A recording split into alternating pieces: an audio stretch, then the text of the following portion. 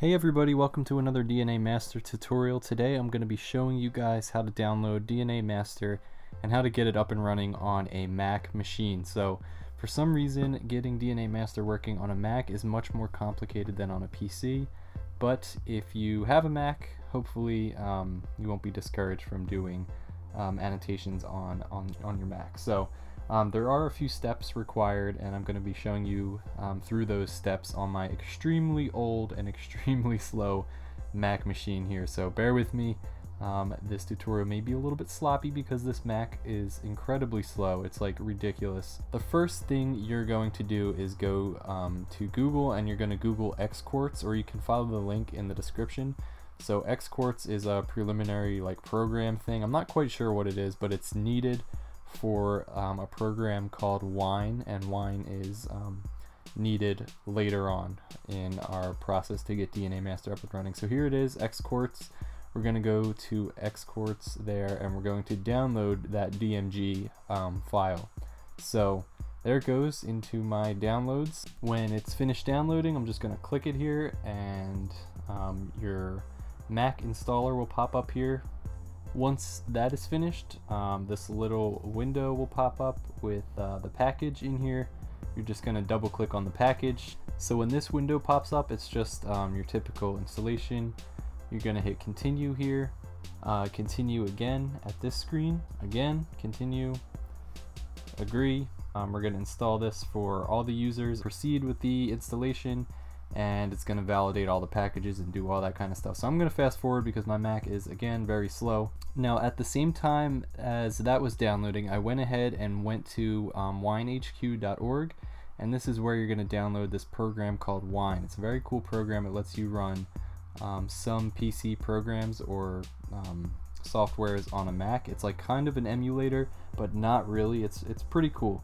Um, so Wine will let you run DNA Master on your Mac. So I went ahead to Wine HQ and I downloaded that file. I will leave the link in the description as well to that so you can just click on that and it'll be right there for you.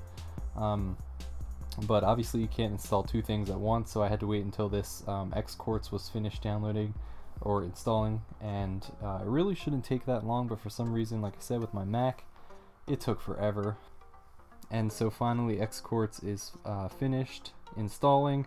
Um, you're going to have to, after you install Xquartz, you're going to have to log out of your Mac um, account and log back in just so it um, can do what it says on screen there. Um, so once you have Xquartz, that's the first program you download and install. Then you'll download Wine, um, Wine Stable from Wine HQ and that will be the second program that you download. So after that, after they're both downloaded and installed, you're going to log off and log back on. So once we have Xquartz and Wine installed, we're good to go with DNA Master. Now there's a DNA Master Wine file that I'm going to leave in the in a link in the description that you guys can download. Um, somebody from Baylor uh, University put this file up there and it will let you use DNA Master with Wine. Um, I have personally just downloaded DNA Master from the DNA Master website, but at the time this video was made, um, the website to the guy um, where the guy who hosts DNA Master on his website, I think he works at Pitt or something, his website was down, it wasn't letting me access it, so for some reason I couldn't get on there. So I was able to find this link and it looks like it's a better match for Macs and Wine anyway. It's actually what HHMI referred to on their tutorial on how to do this. So um, I will leave this link in this in the description for you guys. So after I finished downloading, I just opened the DMG file and it's going to do all the same typical installation stuff um, for any installation on a Mac. So we're going to double click the DNA master package and once we do that this installation box will come up. We're just going to hit continue and then we're going to select our Mac hard drive or wherever you want to save it to, preferably the hard drive of your computer. For some reason it took a sec for that to highlight there so I'm going to hit my hard drive and continue, hit install and put in my password here and then we're just to wait for it to install. Alright, so it's finishing up here. Now the installation may have looked different than on your Mac depending on which operating system you have. I have a very old one or a relatively old one. Um, but some um, operating system installations may ask where you want to save this DNA Master uh, to and if it prompts you to um, save to a specific location I would definitely save to somewhere like your documents where you know where it's at and can access it easily. I think the default um, to where it saves to in that situation is like a very uh, random location and it's like in a hidden file somewhere. It took like a half an hour for me to find this one time, so definitely change the location. If it asks where you want to save it, change the location to like your documents or something like that, just to make it easier for yourself. But in this case, it didn't ask me, so um, I had no problems. Alright, so we're to hit close. And now we should be able to open up any DNA master file within DNA master on our Mac. So let's give it a try.